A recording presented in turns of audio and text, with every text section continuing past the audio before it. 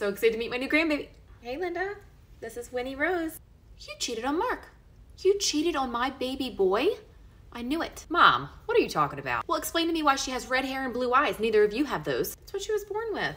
Red hair runs on both of our sides. You and Aunt both had red hair before you started dyeing it. That was a long time ago.